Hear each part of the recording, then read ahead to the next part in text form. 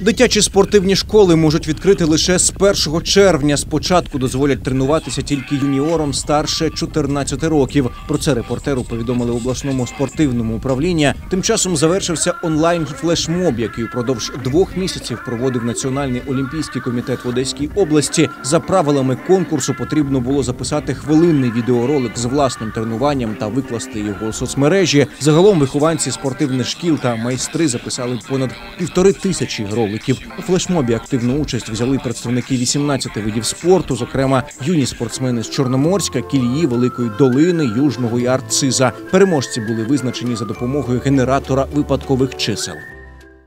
Мы, наверное, впечатлены. Да. Более полторы тысячи роликов. Я всегда говорил, что Одесса – это самый спортивный город.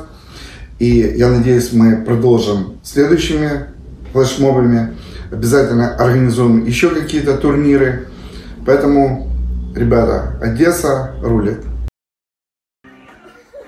Лауреатами конкурсу Тренуйся вдома стали два представники відділення 10-ї спортивної школи зі спортивної гімнастики: 15-річний Даніель Тимошкін та 11-річна Кароліна Оганісян, 12-річний каратист з Окану Ярослав Афанасів, фігурист з Крижинки Іван Качур та відома спортсменка, неодноразова переможниця та призерка чемпіонатів України зі стрибків на батуті Надія Лобач. Спеціальний приз із найбільшою кількістю відео виграв 9-річний гімнаст Сергій Лимаренко. Він встановив унікальне досягнення, опублікувавши 504 ролики.